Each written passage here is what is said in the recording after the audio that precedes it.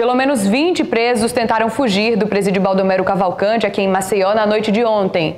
Os agentes penitenciários conseguiram impedir a fuga.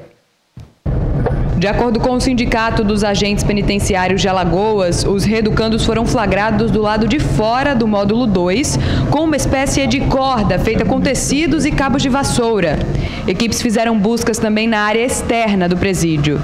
Os agentes penitenciários estão em greve desde o começo do mês. O secretário de Segurança Pública, Coronel Lima Júnior, criticou a paralisação.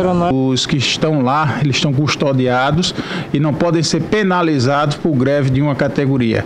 Até porque essa greve já foi declarada ilegal e aí nós temos é que sentar à mesa, vamos ter uma reunião daqui a pouco, onde nós vamos receber as deliberações do governador Renan Filho. Ainda sobre a tentativa de fuga dos presos, a Secretaria de Ressocialização informou que o Poder Judiciário foi comunicado do fato e uma sindicância foi aberta para transferir os presos para o presídio de segurança máxima da capital.